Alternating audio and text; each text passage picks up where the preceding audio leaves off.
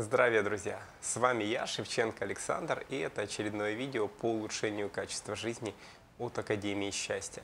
Сегодня говорим, как справляться со страхами и с паническими атаками, потому что это слово упорно вводят в наш лексикон, так же, как слово ввели депрессия и много других слов.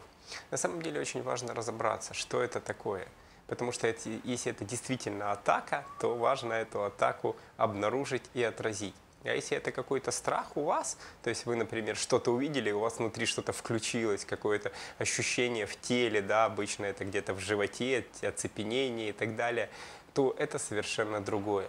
Поэтому, когда мы говорим о каких-то внутренних вещах, страхах, то есть, например, может, увидели там, например, черную кошку, или идете ночью по улице, и вдруг появляется такое какое-то ощущение, что на вас кто-то нападет, или оно может появиться вдруг внезапно, даже вы не отследили, почему оно появилось. Это все, конечно же, включение каких-то внутренних вещей. Они включаются потому, что уже накопилось большое количество негативных ощущений. То есть, возможно, что-то было в прошлом, то есть какое-то ну, скажем так, насилие, какое-то подавление, да, то есть что-то делалось такое, что разрушало вашу жизнь. И теперь при, э, тогда, когда наблюдаются сходные какие-то вещи, например, да, то оно включается. То есть это может быть сходный голос или какие-то обстоятельства, увидели какой-то предмет, который был в том случае, или человек сказал какие-то похожие слова на то, что говорилось тогда. И это все включает.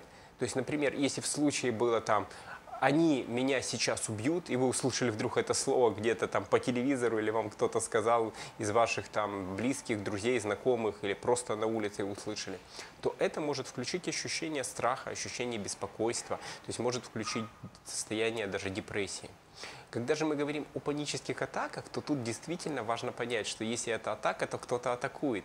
И посмотрите, кто атакует вас. Потому что сейчас атаки очень распространены, огромное количество средств, с помощью которых можно производить атаки.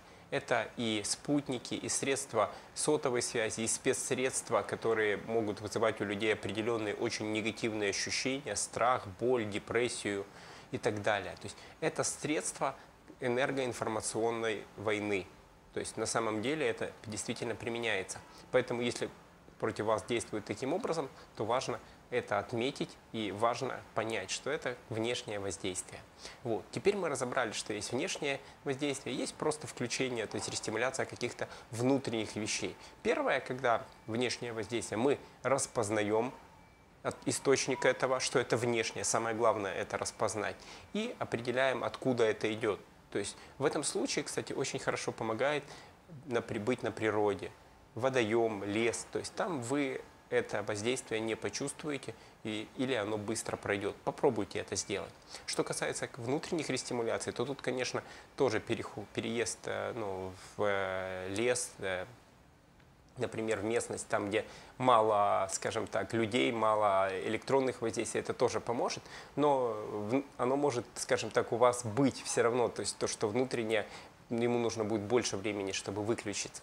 Поэтому здесь очень важным вариантом является проработка, то есть проработка своего ума и очищение вот от этих зарядов, которые включают страх, боль, ненависть, негативные эмоции. То есть это все тянется с прошлого с этой жизни, с прошлых воплощений. И все это возможно, конечно же, урегулировать. Поэтому, когда я помогаю человеку, то я направляю его внимание в эти случаи, прошу их перепрожить, перепройти.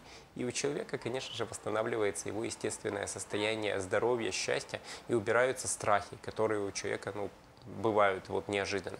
Поэтому мы отслеживаем, что включилось, когда это включилось и почему включилось. То есть, потому что бывает, конечно же, это так раз и незаметно, да, но если вы будете проявлять осознанность, заниматься ежедневной практикой повышения осознанности, то вы все лучше будете распознавать источник, почему это включилось, то есть внешнее ли это воздействие или внутреннее, и, конечно же, будете гораздо проще и быстрее урегулировать это.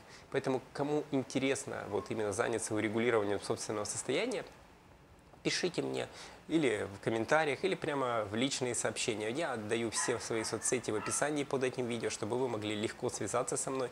И предлагаю бесплатную консультацию, где можно узнать больше о том, как справляться со страхами и паническими атаками. Вот, поэтому пишите, подписывайтесь на мой канал, ставьте нравится, делитесь этим видео со своими друзьями и колокольчик для напоминаний, чтобы не пропускать новые видео. Всем счастья, осознанности и свободы. И до скорой встречи!